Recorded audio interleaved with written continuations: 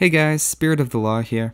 One thing that gives Age of Empires so much replayability and has given it such a long lifespan online, I think, is how many different and interesting maps there are, and how they all lend themselves to some different strategies. At the end of the day though, there are only so many.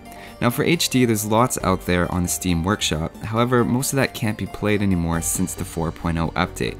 And whether you're on Steam or Voobly, you may not know how to find new maps and how to get them working properly.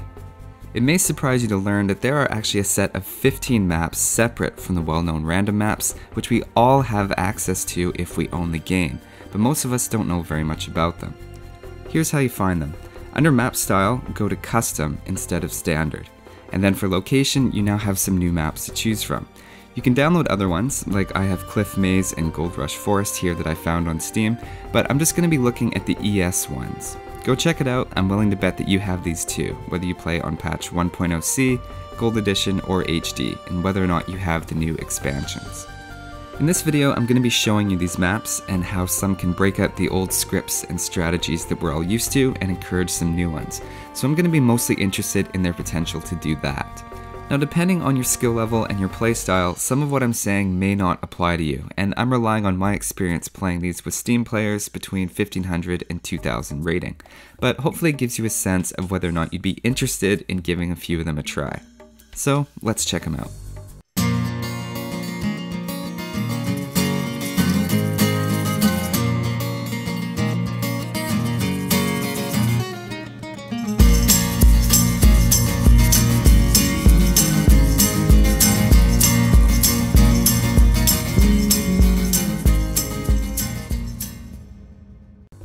Let's go through them alphabetically, starting with canals. Like the name implies, you start with a lot of thin waterways around the map connecting all the players. Players and most resources are all on the outside edges with a forest ring around that.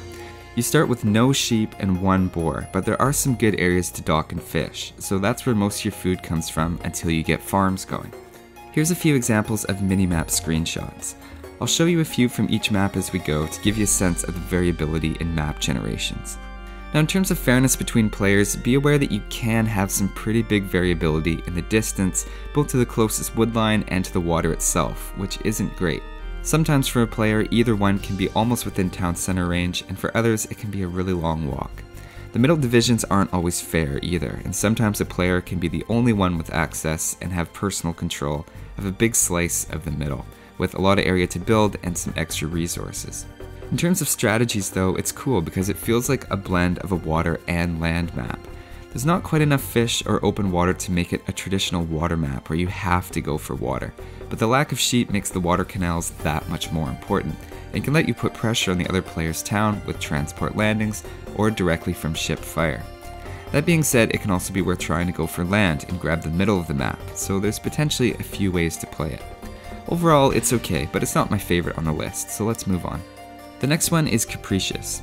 The word capricious usually describes people who are unpredictable and temperamental.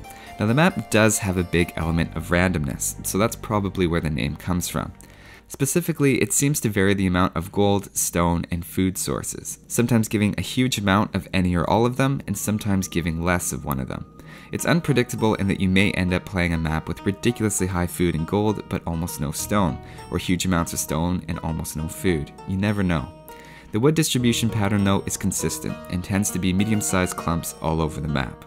In 40 random generations, I found you're never going to have more than one resource be low, but it's entirely possible for them all to be abundant. I wouldn't say it revolutionizes gameplay, but it's a fun and unpredictable map, which makes it one to try if you like open maps, but you're needing a break from the regular old Arabia. The next map is Dingoes. That's a continent sort of map generation, but the biggest selling point is the extra sheep, sometimes 20 or more around your town. There's little extra things around the map, like lots of little skeletons and a bunch of extra wolves in the middle, maybe hence the name. And the craziest part is you start this without a scout. You have water for fishing and a little bit of extra gold and stone, but the trade off is a wood shortage in the late game potentially. There's lots of river choke points to wall up and a big enough landmass around your town that you don't have to worry about range attacks from the water. Britons would be a very solid choice on this map because of the early game, and early scouting of the middle sheep is dangerous, but there's a very high reward if you're lucky. By Castle Age, it can start to turn into a more regular continent sort of map, which is maybe your thing or maybe something you're trying to get away from. Definitely check this one out if you're looking for a map that shakes up the early game. The next one we're going to look at is Graveyards. Now this is the weirdest one yet. A couple of things to know is that this map has lots of relics and it also has these little grave sites around. The grave areas tend to have a bit more gold and some unusual scenario editor trees with 125 wood.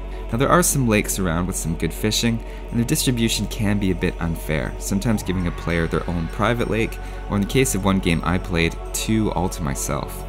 The aesthetics are really the big selling point here, but aside from a bit higher resources and the creepy graveyard areas, it doesn't really encourage outside the box strategies, and it's a pretty straightforward open map. For full effect, I would recommend playing it on Unexplored, and maybe on Halloween or something like that. Next up is Metropolis. Now this is the first custom map that I ever really got into. You start with three different towns with your regular starting villagers and resources around each one. You also get a scout at each one, so the beginning involves some hectic micromanagement to get everybody working. Your starting towns also get three times the starting bonuses. So Chinese, for example, start with the regular minus 50 wood and minus 200 food, but they start with an extra 9 villagers, 3 at each town. You might want to consider banning Chinese and Mayans as civilizations from this map. Another feature is always a large lake in the middle with great fishing. It's really intense out of the gate, and for players who like to boom in Castle Age, you get that feeling right away. It's also a bit tougher to rush other people, since keeping a player completely garrisoned in one town center doesn't halt their economy at the other two, and could even free up their micromanagement a bit. It takes a couple of run throughs of the map to really get a sense of it, and even having something like two functional town centers building villagers while the other one ages up is massive for your economy, and it's a fun mental workout to keep tabs on three different town centers plus docks while you're trying to keep everybody working during three interconnected Dark Age builds at the same time. That all being said, after everyone enters Castle Age, it starts to turn into a normal game, and the player with the best early game management skills often comes out ahead. To make things extra fun, you can do it on Regicide and get 3 castles, 30 villagers, and 3 kings. You lose when all 3 kings die. Overall, it's a really fun map, and I highly recommend checking it out. Next up is Moats. It's similar to how it sounds, and you have a water moat around you with a few land bridges. It's definitely not a map that you can hide in your little fortress though, since most of the resources and all of the wood is in the middle. One thing to note is that you can't dock because the moat is deep water, so transport ships are out. Other than that, there's not a whole lot to say about this one actually. It's a land map with normal resources and moats. It seems like a good map for a peaceful diplomacy game more than anything. Next up is Paradise Island. Like Graveyard, the aesthetics are a big selling feature of this one. It's visually different in lots of ways, with mountains, animals, and beaches. But that being said, the gameplay itself isn't too unusual.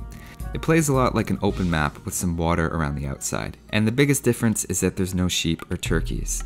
There are some extra forage bushes to make up for that though, and lots of fish, of course, giving it a real tropical vibe. In terms of consistency, the spawn locations can be a little weird, with some of them right on the shoreline within range of galleys, and others quite far inland. I do wish there was a bit more purpose as well to going to the center of the island, but it's just three relics, and there already seems to be a decent amount of gold on the map. Overall, it's a nice themed map, but again offers a pretty standard sort of game. Next one we'll look at is Pilgrims. First of all, I love this map. It's like Nomad, but with an island. The downside is that it's surprisingly laggy.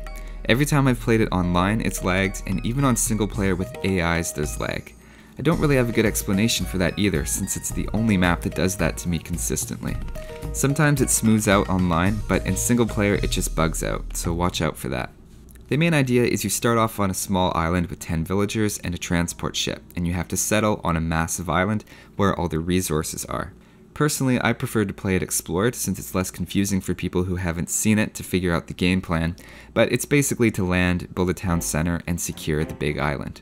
There's a lot of turkeys and wolves on the island though, which spawn in pairs, so watch out for that.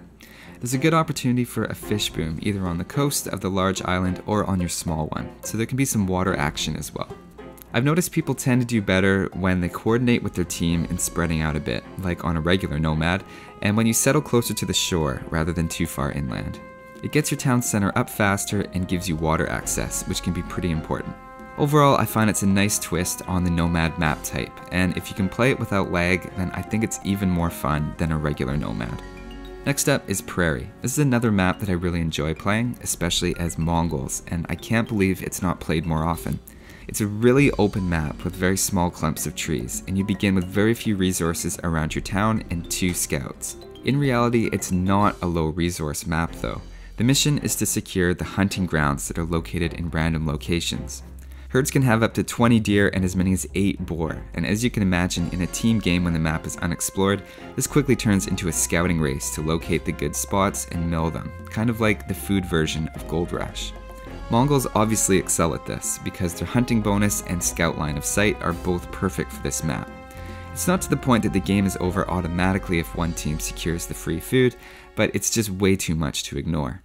Unfortunately, the distribution can be a bit unfair at times, and sometimes a corner player can end up with a personal herd, while several other players have only tiny ones nearby. That might impact the balance of a free-for-all game in particular, but for a team game or one versus one, it's always a really fun map to shake things up. The next one is Seasons. Usually this map seems to be a river with a team on each side. In general, I don't really see how it plays different from a salt marsh map, for example.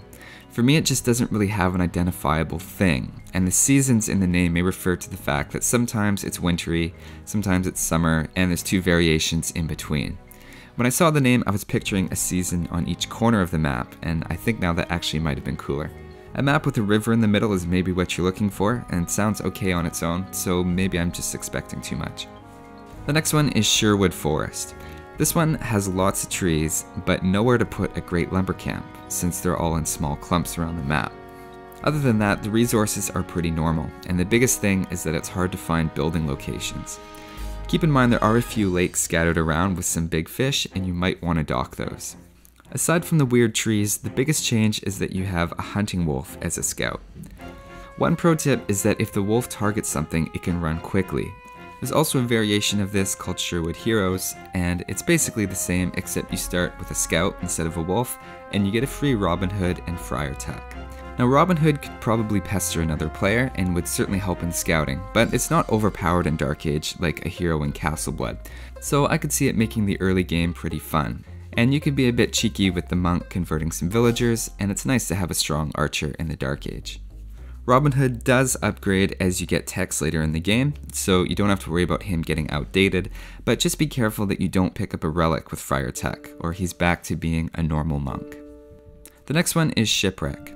In this one, everyone starts in the middle of a very closely packed island, and you have the option of trying to fight for the middle or quickly moving to the outside ring. There are lots of resources outside the ring, so fighting in the middle isn't necessary to win. There can be large areas of fish if you're lucky, which makes up for a lack of deer and boar. But the shallows and fish distribution can be really random, so you can't always count on having the same type of coast as another player. I've always found it's a very action-packed map, and it can involve a lot of moving town centers, so it can be a fun one to try, especially in something like a free-for-all. The next one is Team Glaciers. Now this one feels a bit like Highlands with the ice in the rivers, but it's definitely a more extreme map. The water isn't worth docking since there aren't any fish, and the giant ice sheets in the middle of each open space and along the shores make it really hard to find space to farm. The lack of open space makes the map feel very restrictive, even on very large sizes, and personally I find resources get stuck against trees a lot, way more than on any other map I've seen, even on large map sizes, because everything is so squished by the glaciers. I just feel like there isn't room to do anything on this map, and that's not my cup of tea, but if that's an appealing feature for you and an interesting challenge, then you'll like this map. You'll certainly appreciate all the extra room on a normal map after you play this one. The next one is The Unknown. Now this is a lot like Mega Random if you've ever played that one, but not quite as many random variables. There's a variety of possible map geographies with lakes, islands, rivers, or no water at all. The resources can also be random, and you might end up with a map sort of like what Capricious would give, with extra gold and food, but almost no stone, for example. It's so random it can border on being unfair though, and one team might start on islands and another with a continent. In generating a few, I even found one map where in a 3 vs 3, player 2 was completely enclosed in trees. You never know exactly what you're going to get with this map, which can make it a lot of fun. If you already enjoy being surprised by the map type and going full random, then you might like Unknown for giving you just a little bit less predictability. So that's all of the ES custom maps. There's a ton of other ones online that you can find, but these are the ones that come standard, so everybody already has them. Hopefully at least one of those was enticing enough to get you to want to try it out, but even if none of them did, at least now you don't have to waste your time trying them out for yourself. Win-win, right? Thanks for watching guys, and I'll see you next time.